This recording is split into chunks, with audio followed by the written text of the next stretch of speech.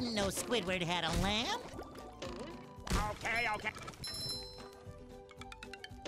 Another find for Patrick. Hey, Squidward.